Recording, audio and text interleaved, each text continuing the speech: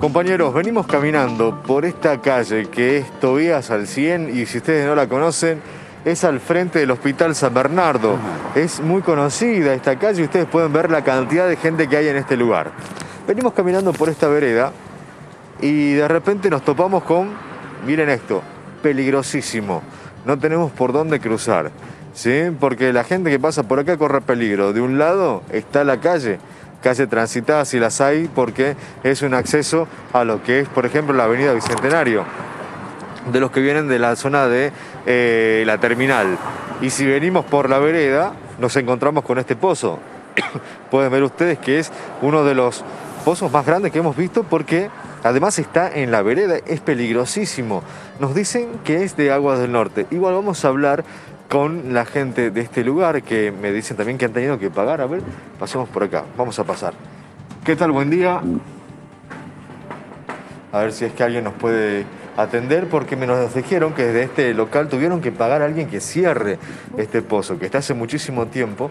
A ver si es que nos pueden atender. Es un negocio que prácticamente está con sus puertas cerradas ya que tiene el pozo en la puerta. Bueno, vamos a esperar a que venga alguien, si no vamos a recaudar más información con respecto a este pozo, de los vecinos que están acá por la zona, de la gente que cruza y demás. A ver, vamos a venir por acá. Señorita, estamos en vivo para Multivisión. ¿Ese pozo hace, hace cuánto tiempo que está? Hace una semana aproximadamente. ¿Es de Aguas del Norte? ¿De quién es? De Agua del Norte. Vinieron, arreglaron, después se accidentaron dos personas, Oh. volvieron a abrir el pozo y ahí quedó. La dueña del hotel tuvo que pagar, sacar de su bolsillo para arreglar, porque no vinieron nunca a volver a arreglar. Lamentable, ¿no? Muchísimas gracias.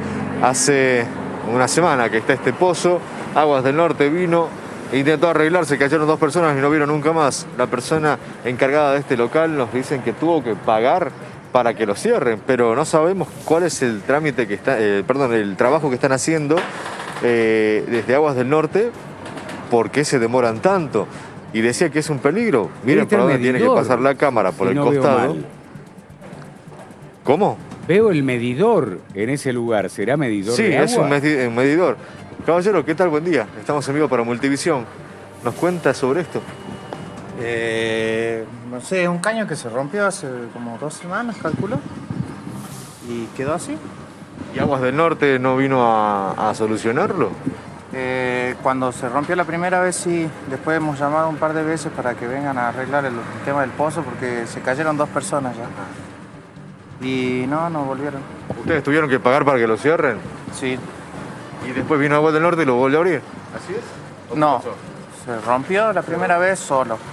No sé, habrá sido un caño principal o algo por el estilo. Vino Aguas del Norte, lo arregló eso. Después hubo un accidente, un señor se cayó y se volvió a romper y ahí lo tuvimos que arreglar nosotros. Bueno, ¿Y cómo funciona tu negocio con respecto a- al pozo este? La gente entra. Casi no funciona igual, pero el problema es que es un peligro para cualquiera, digamos, ¿no? Cualquiera se puede caer. Bien, Muchísimas gracias, muy amable. Bueno, sí, ¿eh? es un peligro el estar parado por este lugar, el intentar cruzar. De un lado pasan autos, camiones de todo tipo y del otro lado tenemos un pozo. ¿Por a dónde cruzamos? Si siempre nos dicen caminemos por la vereda, que es más seguro. Bueno, la, la seguridad no se ve acá.